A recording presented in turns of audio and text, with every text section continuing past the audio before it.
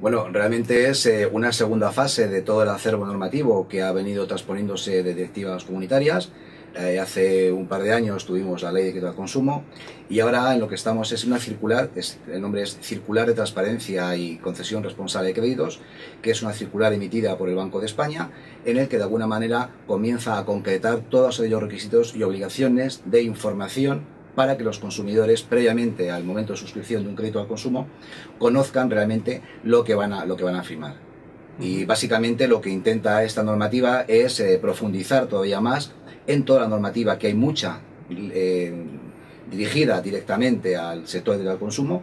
para que eh, se refuerce por parte de las entidades, de una parte, la información para el, para el consumidor y que los consumidores también conozcan y, y sepan claramente esas condiciones antes de endeudarse en un préstamo personal o en un crédito al consumo en general. Bueno, para hacerlo de manera muy descriptiva, eh, préstamos al consumo se entiende cuando alguien va, por ejemplo, a un establecimiento comercial a comprarse eh, mobiliario, a comprar electrodomésticos, electrónica de consumo, o cuando va a un concesionario a comprarse un vehículo, sean coches, sean motos. El crédito al consumo es el crédito que alguien puede obtener directamente en el punto de venta. El punto de venta es el lugar donde se reúne tanto la oferta de producto y la oferta financiera suficientemente eh, adaptada para poder adquirir anticipadamente un bien de estas características. El crédito al consumo, por, casi por definición, en la manera más tradicional, como se entiende, es el crédito que se puede obtener en el punto de venta en el cual alguien quiere adquirir algún bien puede haber un poco de todo ello. Eh, la realidad es que lo que de alguna manera intenta esta nueva normativa, esta circular de transparencia que viene de otras normas anteriores, yo, yo recordaría que toda la actividad de las entidades de crédito, por no remontarme mucho más allá, a partir del año 89 ya había una normativa específica de transparencia y de protección a la clientela.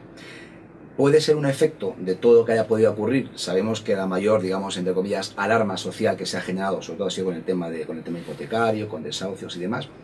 eh, esta pequeña vuelta de tuerca en cuanto a la información es muy importante un matiz. Lo que dice es que también el cliente es responsable de su nivel de endeudamiento. Es decir, mayor información no supone necesariamente mayor responsabilidad para las entidades de crédito que la tienen, sino sobre todo una mayor capacidad de decidir informadamente por parte del, cliente. Porque si no, tenderíamos a pensar que los clientes no saben lo que firman. Y la información que se va a incrementar hoy en día no es mucho más distinto de la que había anteriormente, lo que sí pretende es que los documentos a entregar, etcétera, etcétera, sean todavía mucho más claros. Un ejemplo es que a partir del mes de julio del año que viene los contratos deberán tener la letra a 1,5 milímetros. Es decir, hasta hoy en día uno podía pensar subjetivamente si la letra es pequeña, era realmente pequeña. Ahora, para evitar esto, los contratos tendrán ya un tamaño que legalmente se ha establecido 1,5 milímetros. Pero lo más relevante es mayor exigencia para las entidades, que a nosotros objetivamente no nos preocupa porque a los clientes hay que darles información, queremos clientes informados, que sepan qué crédito contratan, eh, porque saben también que luego hay que pagarlo. Y también esta normativa de alguna manera establece también la responsabilidad del cliente en aportar información veraz y eh, un endeudamiento responsable. Bueno, de hecho, de hecho va a ser así, porque aparte de las exigencias de, o mayores exigencias de información a proveer a un cliente momento anterior a la compra, a la suscripción de un crédito, también hay una información que las entidades vamos a tener que aportar al Banco de España, que van a ser publicadas en las páginas web del Banco de España, donde los clientes van a poder ver toda la oferta que existe. Por parte de, por parte de Citroën hemos iniciado este camino eh, con el crédito responsable proveyendo información. Hemos creado una serie de documentos, hay una página web en la cual los clientes pueden acceder y ver qué es lo que significa un crédito al consumo, cuáles son aquellos elementos que deben mirar. Desde luego, los importes, las mensualidades. ¿Cuáles son? Ya estamos. Son, son eh, ver, básicamente lo que es el coste del crédito. El coste del crédito, eh, la mensualidad que uno va a pagar, porque el crédito de consumo generalmente por sus importes medios no hay que planteárselo con un análisis excesivamente financiero como puede ser una hipoteca,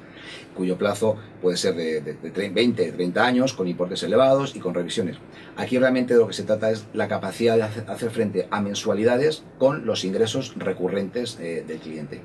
Un cliente debe conocer cuáles son las consecuencias del impago, parece una obviedad, pero hay que resaltarlo eh, porque en definitiva, eh, cuando nosotros, una entidad de crédito, ha hecho todo el proceso de información previa, el cliente ha decidido contratar con una u otra entidad este préstamo al consumo, Eh, a partir de ese momento, eh, las responsabilidades pasan a ser del cliente en orden al pago puntual de estas, de estas operaciones. Por nuestra parte, la, la, información significa resaltar todavía mucho más algunos elementos que básicamente son los elementos, digamos, financieros del contrato. El importe, el tipo de interés, la TAE, que es muy relevante, eh, información sobre el seguro, si este crédito va asegurado, es decir, toda la información que siempre se ha dado, pero que de alguna manera ahora lo que nos exige esta nueva circular es, incrementar, eh, resaltar cierta información en la documentación que se entrega al cliente.